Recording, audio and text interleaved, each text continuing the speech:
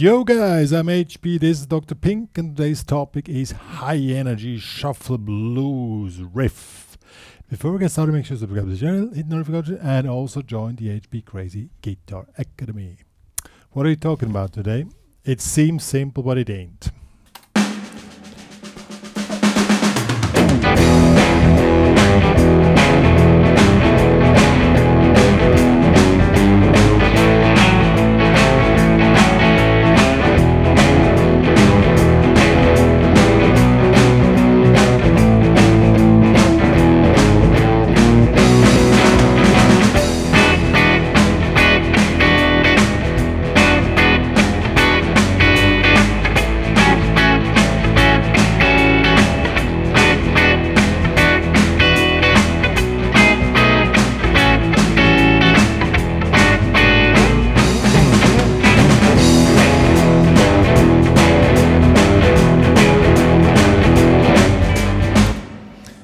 And so on.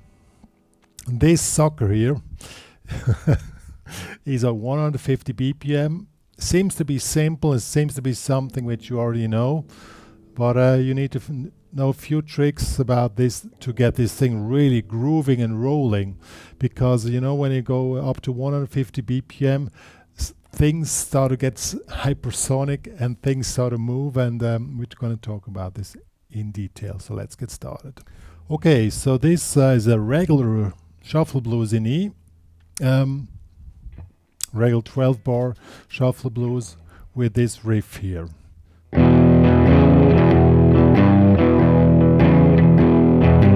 This is the main riff, so we have a E5, one, one, and two, and three, and four, and one. So it's really a regular riff and 3 and 4. That's the main riff. On A it's the same thing.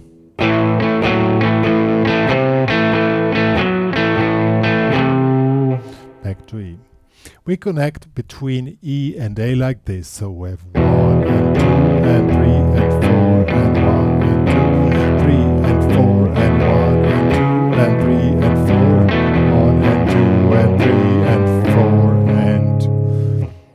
go to A.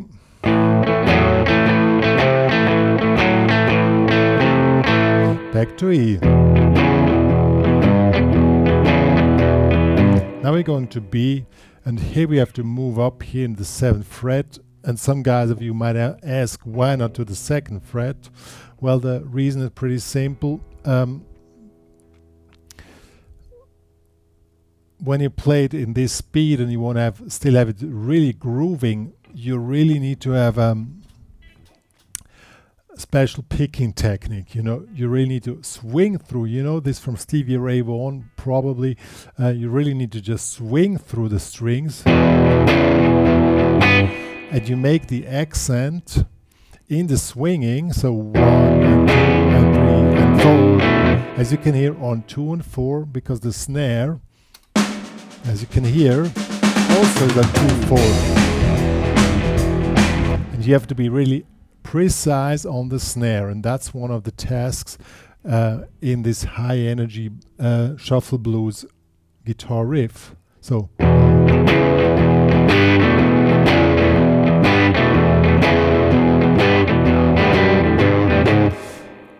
So really give this kick and out of the relaxed swinging arm give this extra kick and the, the challenge in fact is that you only hit the strings which you're supposed to hit and the pick doesn't fall out of your hands.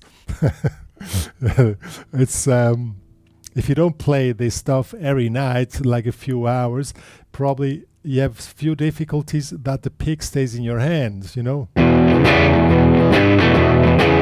Because you really have this this twang in your arm because then this whole thing starts to swing and roll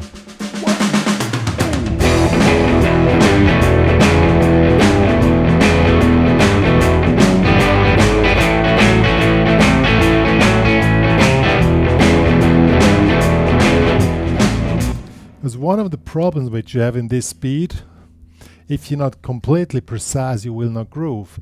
And the other problem is you have no room for error at all because there's no time left to fix the error. So you really need to focus to get the whole thing done and that the pick doesn't fall out of your hand, you know?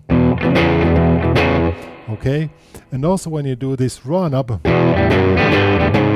you don't only go up, you make this twang too. So one and two and three two. You also make this twang and you make these slight pull-offs.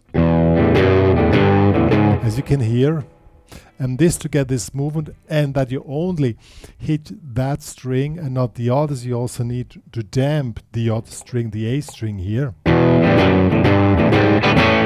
When you go to A you need to get into a position where you damp the low E string and still keep the mo momentum in your uh, picking arm going on and this without any room for error. So everything has to be that's the real challenge of this. The stuff seems to be easy but to get this thing through, like for three, four choruses, without your picking falling out of your hand or you moving out of position, that's really a challenge. And you need to practice this a little bit and get this special twang, you know? I see, I, I switched it too late. I mean, even I really have to watch careful. So when it, you need to count at the beginning that you don't fall out. So one, two, one, two, three, four.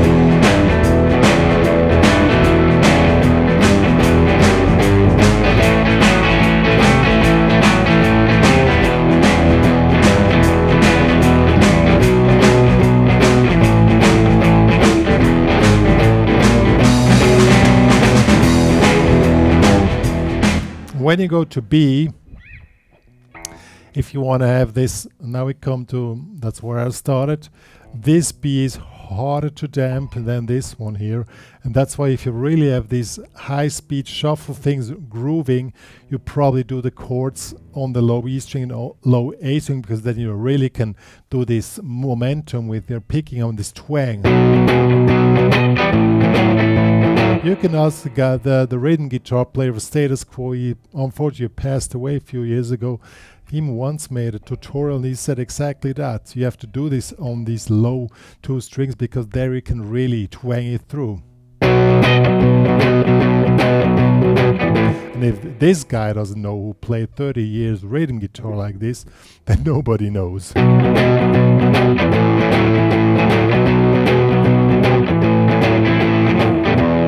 And now the ending phrase or the final phrase is this, well, the standard one, but again, it's challenging because you need to have the thing going on in this high tempo. So zero, four, zero, you again make these slight pull-offs. And you end up in the B7. And then you go back without any time for rest.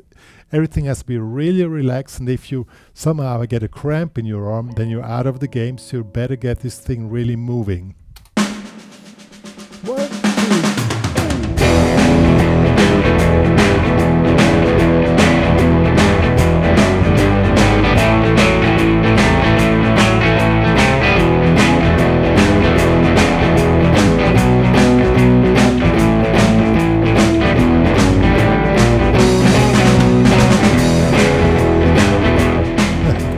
Did you notice at the end I fell out because my pick fell out of my hand? I needed to correct the position. That's why I mentioned that point because that's really a task. I didn't, I didn't expect that after these many years of playing guitar. Holding the pick in this tune here is quite a challenge. So if you're able to play without pick, I, tested it. It also works, and then um, you're probably more precise, but not as accentuated as with the pick. But there you don't have this problem. It also works.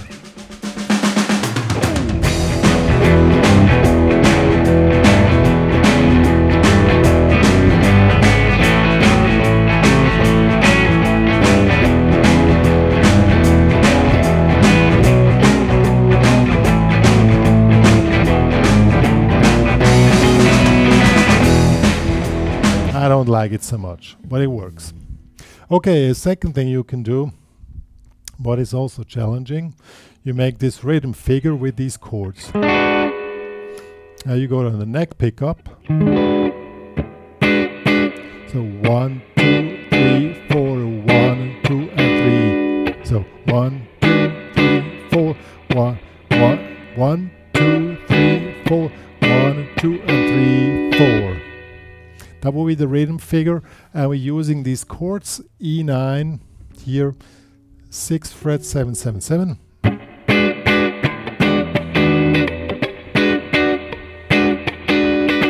Then we go to A13 is a bar in the fifth, index, uh, middle finger in the sixth, ring in the seventh.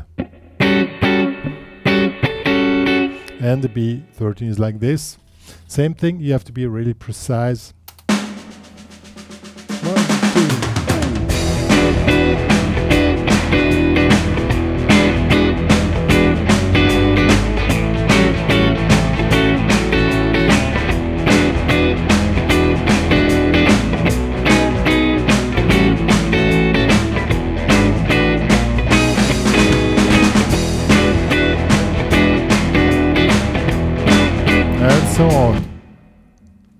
When you want to switch between the two guitars, you again have the problem that you don't lose the timing and all this stuff.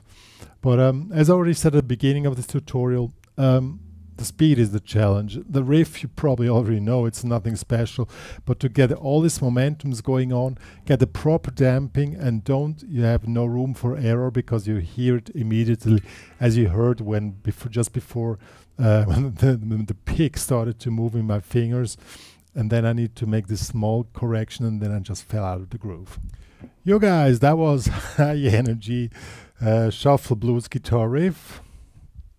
Um, not more to say, you really, really need to practice and listen to the guys who play that stuff all night. I played in a rock and roll band for two years at the beginning of my career, played this every night, and I can tell the tricks which I just mentioned now um, that helps you to get through this and always keep the groove even when it gets fast. And um, if you want to practice this stuff, I made this backing track here for you guys that you can practice this, that you get, you know, the main thing is just to stay relaxed. Even if you can keep up the tempo and you're not relaxed here in your arm, also in your wrist, then you will not make it too long because you will fall out the thing like after two minutes when your arm starts to cramp. You really need to stay relaxed. Oh yeah